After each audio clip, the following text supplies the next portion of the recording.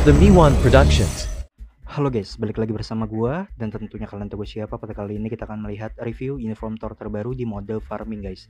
Apakah uniform Thor Father Reborn ini jauh lebih baik di mode farming ketimbang uniform Thor sebelumnya yaitu Love and Thunder? Kita cek aja guys.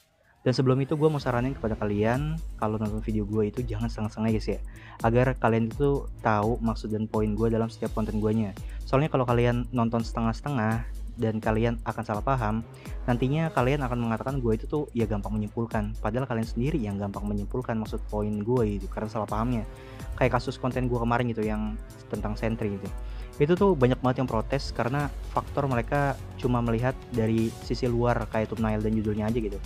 Mereka menganggap gue ini tuh menggiring opini dan menjelekkan si Sentry padahal isinya nggak gitu. Ya kan lu coba aja.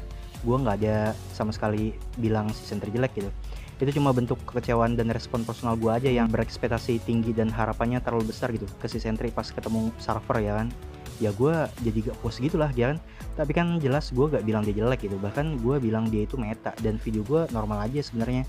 Intinya kalau karakter itu fix jelek gitu gue akan selalu bilang skip aja. Tapi kan gue nggak bilang si Sentry ini jelek gitu kan sampai katanya gue diomongin di jelek-jelekin di grup gitu. Ya udah mau gimana lagi gitu kan mereka aja yang salah paham. Lagi pula ini cuma game gitu. Sampai segitunya banget dibawa ke real life gitu ya ngapain banget gitu kan. Terus juga mempermasalahkan build sentry statnya yang ke arah PvE padahal kan gue udah bilang gue ini akan melawan player yang akan mengikuti standar pada akun yang gue pakai waktu itu gitu. Artinya gue melawan player yang PvE juga gitu akunnya. Terus juga ya berarti 11-12 gitu kan.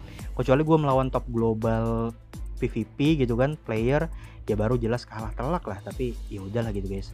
Oke guys uh, jadi langsung aja kita cek guys. Oke guys, jadi kita akan coba di mode Dimension Rift untuk mode farmingnya dan gue rasa juga ini bakalan bisa buat mewakili semua mode farming ya kalau untuk tes uh, si Thor-nya. Dan kita terlebih dahulu cek Thor Love and Thunder akan menyelesaikan mode farming Dimension Rift dalam waktu berapa cepat. Hmm.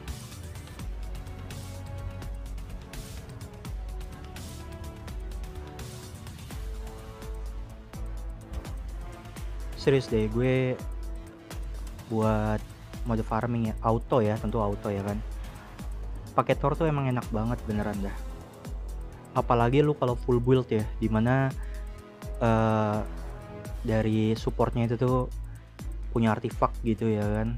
Apalagi kalau misalnya lu pakai si White Fox White Foxnya itu punya uniform yang limited edition gitu tuh bakal lebih cepat dan si Thornya juga punya artifak juga ya kan. Jadi bisa lebih cepat lagi gitu. Jadi gue setiap hari buat farming uh, Celestial Essence di Dimension Rift ya pakai Thor gitu kan. Terus juga ya pokoknya semualah. Tapi kalau buat dispatch mission misal gitu ya kan itu gue jelas pakai tier 4 3 tier 4 gitu. Nah guys ini dia berhasil di menit 2 menit uh, eh, 8 detik ya. Kita coba pakai info terbaru ini. Hmm. Bakal lebih cepat nggak? Tapi kalau perbedaan cuma satu detik dua detik itu belum terlalu terlihat guys. Berarti itu masih 11 12 masih sama aja gitu ya kan? Karena kan kita di sini pengen ngelihat buat uh, eh, AI-nya loh auto AI-nya itu. Karena auto AI dari si Thor itu tuh itu udah perfect banget buat mode farming. Tapi persoalannya di Thor and Thunder gue kira ya gue rasa tuh buat problemnya di skill 5 anjir itu tuh kayak nggak bisa di cancel jadi nunggu animasinya habis dulu gitu jadinya lama gitu makan waktu kadang.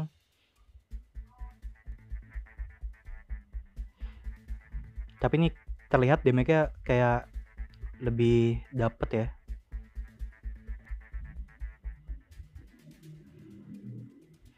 Tapi kalau perbedaannya 5 detik aja itu udah udah cukup seriusan udah cukup. Tapi kalau perbedaan cuma satu detik dua detik itu baru deh. Kayaknya masih 11 12 lah gitu.